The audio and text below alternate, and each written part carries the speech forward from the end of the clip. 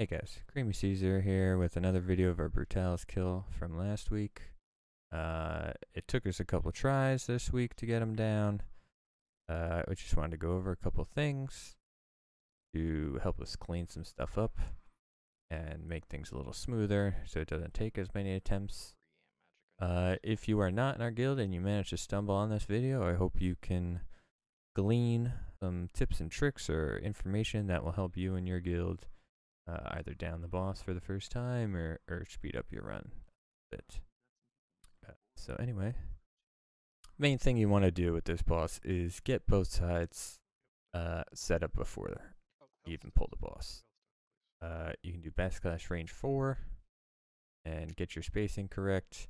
You should have pretty much all your healers lined up, uh, fanned out behind the tank on each side so they can reach, if they're assigned to tank healing, they can reach tanks on both sides. If they're assigned to raid healing or burn healing, uh, they can easily reach the burned individual.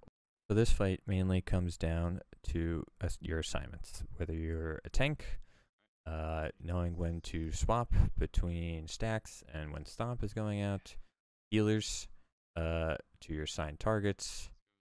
Uh, I that you have to focus your assigned target and nothing else. And for everyone else, not to spread burn uh, to the rest of the raid. There should really only be two burn victims at any given time.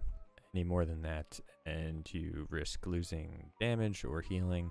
Uh, we kind of get into our positions again. Healers fanned out right behind the tank on their side so they can tank healers can hit both tanks. And uh, the other healers can hit raid and burn victims. Our side normally has to do a little adjusting after the pull. Fine.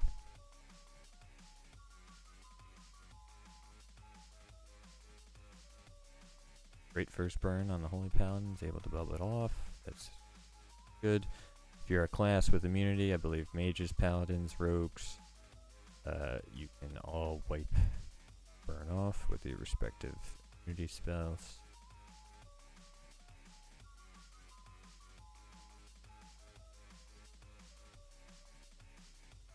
You have burn victims, you can see our Ele Shaman going off to the side of the boss over there so you can get hit by healers from both sides of the raid.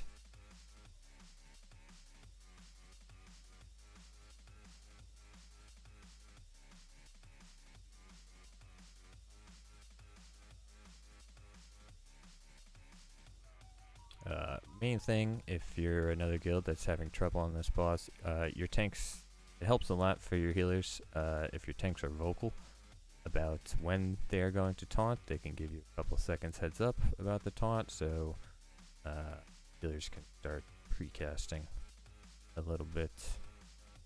Case uh, a slash stomp combo is coming, or, or again, healers, I want to reiterate, you, you almost cannot stop casting Your tank healer especially. Uh, you'll see on my raid bars, I have a weak aura. I'll link that in the description below, uh, as long as well as our um, as well as our Warcraft logs for this fight. Uh, the weak aura is great. It tracks burn targets and the little moving lines change color uh, as the debuff progresses. So when it gets to like the last 10 or 15 seconds, it'll be red like that. Uh, for some reason it was messing up this week, so I will have to probably re-import it uh, for next week, but I will link the wag wago.io page of it, and uh, it's probably been updated.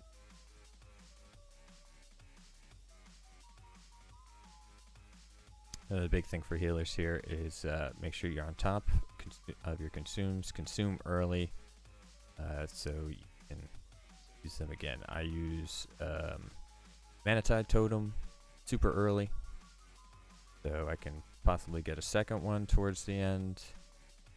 Uh, I also use Mana Potion early, and then get Dark Rune uh, halfway through Mana Potion cooldown.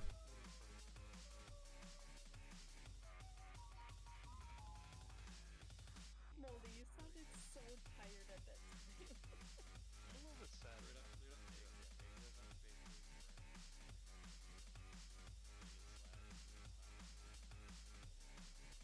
This fight, uh, if you watch my Ghost video, you heard me mention about scripting a boss fight. Uh, if you've been raiding at all in TBC Classic, um, you might not have heard this term before, but it's it's kind of the basic uh, understanding for boss fights. Uh, the more that you can plan out and control beforehand, the more you can script how the fight will go out. And so again, this is this is perfect uh, fight that you can script almost completely, except uh, the only randomness factor is uh, who gets targeted by burn. But you essentially, you know every week exactly when the tanks will be taunting, um, you know, which side will be taking meteor slashes and whatnot. Uh, it's just a matter of healers getting into the flow, uh, tanks getting back into that flow.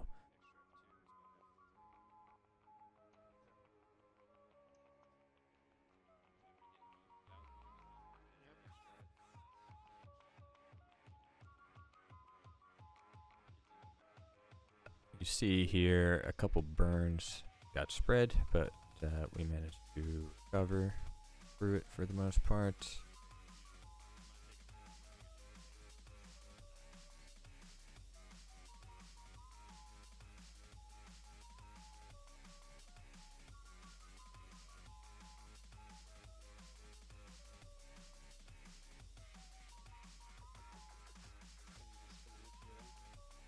Right here, tank taunts early. Our side gets four slashes. Uh, tanks can actually tank uh, more than three slashes. If your healers are good enough, uh, they can probably get up to like five or six. Uh, but it's the rest of the group behind them that uh, people will just start getting one shot probably around the fifth or sixth. Uh, range DPS and healers will probably start getting one shot by slash.